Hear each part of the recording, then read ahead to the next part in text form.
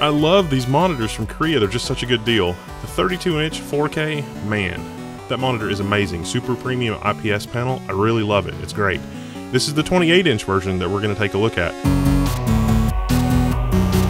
So the new Korean monitor that we're going to take a look at is the 289K. The only reason I'm taking a look at this is because a lot of people on the forum asked about it. They said, you know, 40 inches is just way too large. Uh, I got the 32 inch monitor, the crossover 32 inch monitor, the, the 32 4K or 324K, depending on you know just how you want to pronounce it. But the uh, 32 4K is a 32 inch 4K monitor, but it's got a premium panel in it. I think it's the same panel that the 32 inch Dell monitor uses that retails for around $1,300. Uh, so it's a really high quality panel. And so the 40 inch monitor is really more of a workhorse monitor. It's like the super MVA panel type. But the panel type in the 324K and the 289K that we're looking at is more of an AHVA or IPS type panel, really top shelf panel. Now, I think the one in these is an IPS panel. From the looks of it, when looking at, you know, a pure black screen in the dark, from looking uh, around the glow on the edges, you know, IPS, PLS, something like that but it's very high quality and very fast response time. Um, this monitor is a 28 inch monitor as opposed to a 32 inch monitor. When you're running 4K and 28 inches, you're definitely going to need display scaling of some kind. You're not going to be using, you know, the standard issue 10 or 12 pixel console font when you're using this. On Linux and on Macs, this display is gorgeous. You can have a ton of screen real estate and it's 4K, and so the pixels are really tiny and you can't see them, and so it looks amazing. On Windows, if you're going to run Windows at 100%, it's too small to read. You can't see it. You have to use display scaling. And I would say that you will probably be most comfortable at about 150% display scaling. Uh, 125% is just a little too small. Uh, so when we're talking about 4K and 28 inches, we're talking about 150 pixels per inch give or take. That's not quite retina resolution, um, but that is a really high resolution, a really huge number of pixels. So 4K and 28 inches is your thing, then this is the monitor for you. Now, in terms of the aesthetic, it's got these super, super thin bezels with a sort of metallized bezel at the top. It's got a very basic glass stand with sort of an, an aluminum connector to connect the glass stand to the, to the monitor. Uh, it does have tilt, but there's no height adjustment, of course. The tilt range is fairly limited, but I think a reasonable tilt range. And it also has a VESA mount on the back in terms of a, a mounting solution. So, you know, again, like the other Korea monitors, this is pretty minimalistic. The one thing that was different with this monitor is that the on-screen software, the on-screen control software, is completely different. Now, looking at the connectors on the back, it looks like that this might be the same controller that we've seen in other monitors. And the 32-inch monitor and this 28-inch monitor from Crossover came out at the same time, and so I expected them to have the same panel software, but that's not actually the case. The panel software on this one, even though it's a 28 inch, looks more like a TV, and the one on the 32 inch, the on screen software feels more like PC monitor control software. Nevertheless, I was able to find the options that I needed in order to set the on screen controls into English, although it was a lot trickier to set it into English on this 28 inch monitor than it is on the 32 inch monitors and some of the other ones that we've looked at that were based on the earlier version of the controller. So if you want to set it to English, you should follow this general procedure. Go to this menu, then go down to this item, and then pick this and then your monitor should be in English.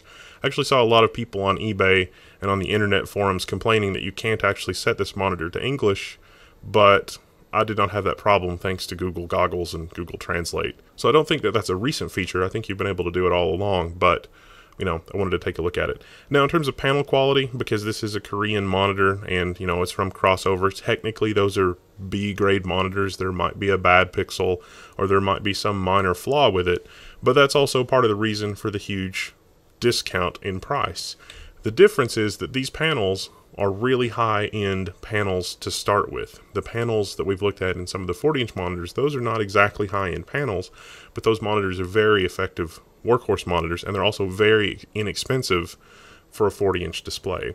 Now, these 28 inch displays are a little bit more competitive, and there's also a lot of other sources for panels in the 28 inch range. And so these 28 inch panels are much higher quality panels. And so potentially that these panels were rejected for some reason and ended up in these products doesn't necessarily mean that, you know, you're going to have a gob of 50 dead pixels in the middle or something like that. Certainly you can return the monitor for those kind of a problem, but there might be a bad pixel in the corner or there might be some other very, very minor issue with the actual panel itself. But overall, for the 50 or so that I've ordered over the years 27 inch monitors, 40 inch monitors, now I've ordered a couple 32 inch monitors. I haven't really had bad luck. I myself have had to return maybe three monitors out of 50 over the last five or six years, give or take. So let's talk about the inputs. This monitor has one DisplayPort 1.2 input, one HDMI 2.0 input, two more HDMI 1.2 inputs, VGA for whatever reason, and then it also has optical audio out, PC headphones, and a USB firmware upgrade port. So theoretically, this could be upgraded to support FreeSync at some point in the future.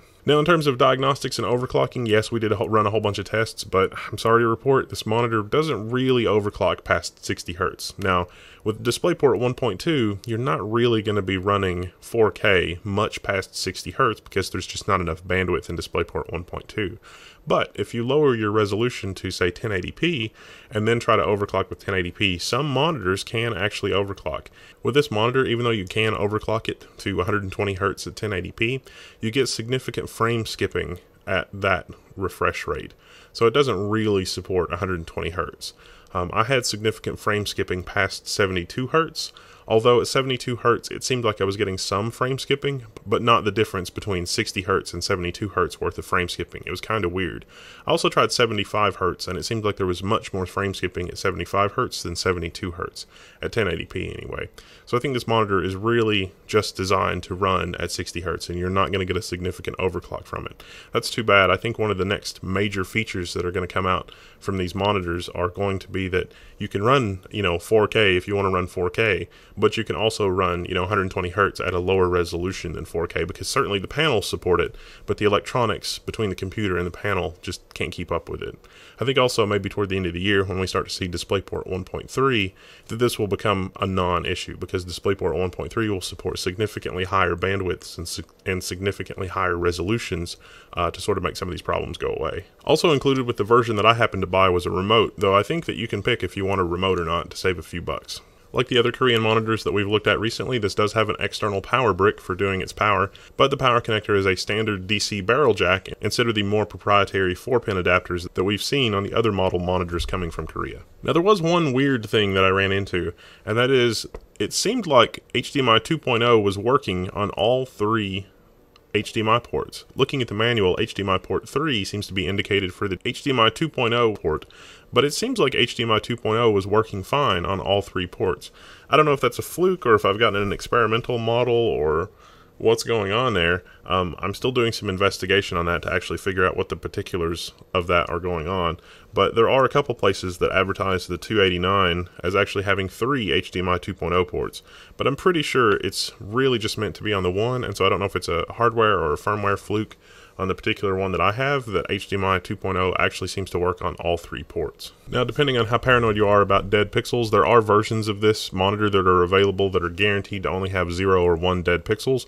So if you want to get a display and you want it to be absolutely perfect, and you can see the tiny 150 pixel per inch pixels on the display, then you can get a pixel perfect version and have only zero or one dead pixel. So this is a DC solution that we're talking about for the backlight, and that means that it's going to be a flicker free experience. That's a little bit more expensive for the backlight circuit, but that's really important to a lot of people. And so this particular monitor has been equipped with a flicker free backlight. Overall, in the in the testing that we did, you know, for color accuracy and color clarity and things like that, it performed on par with an IPS display. Now, if you get one of these and you're wanting super accurate colors, you're going to have to do your own color calibration and so the monitor is capable of displaying full 444 chroma on DisplayPort 1.2 with the 8-bit per color color depth. And so the other thing with this panel, because the response time is so fast, you will experience a relatively low rate of motion blur. Like the other controller that we looked at in the 32, this one is running about 1 to 2 frames behind a CRT. Uh, more on the 2 side, maybe a little bit more than 2. This display did seem to be a little bit faster on average than the 32 inch, but the instrumentation that I have is not really any more accurate than a digital camera taking pictures of a monitor and then just putting the numbers in a spreadsheet.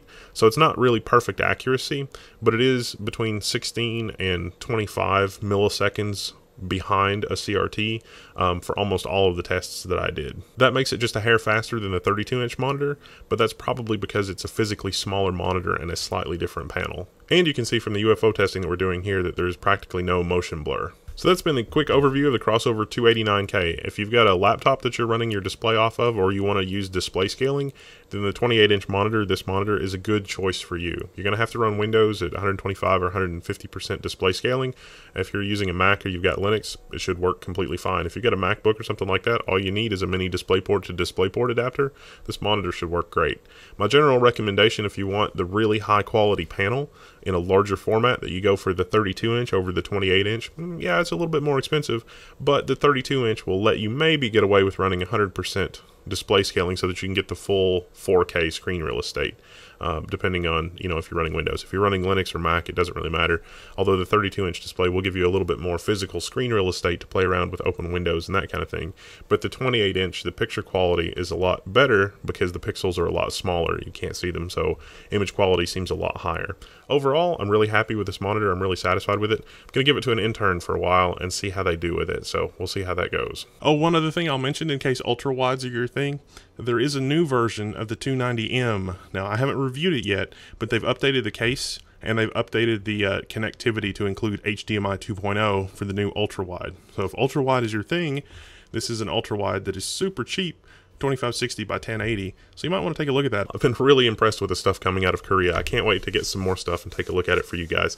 And I wouldn't have taken a look at this one if so many people had not asked in the forums and sent me emails and various other kinds of communication like hey i don't really want a 32 inch monitor that's just too large i want to do this but it's like you know a lot of those people are like i'm going to run two monitors and it's like well wait a minute if you've got two monitors side by side why don't you just get one big one because one big one is going to take up less space and have more pixels I don't understand that. It's like, oh, I've got two 27s. I'd rather have that than one 40 inch 4K. And it's like, well, I've got news for you. Two horizontal 27s take up a lot more desk real estate than one 40 inch 4K. And one 40 inch 4K is almost a million more pixels than two 27 inch monitors at 2560 by 1440. What's that about too much room? Just run a single 4K, you'll be fine. And it takes up less space. It's actually really elegant because you could run a single 4K on a monitor arm and not have this convoluted mess of monitor arms. I might do that when 8K displays are out. Just as soon as I can get an 8K display in probably about 65 inches, I will totally replace my monitor tree with a 65 inch 8K display. Totally, I will do that. That would be a thing. So if anybody out there wants to send me a prototype, you know where to find me on the forums. I'm Wendell, I'm signing out, and I'll see you later.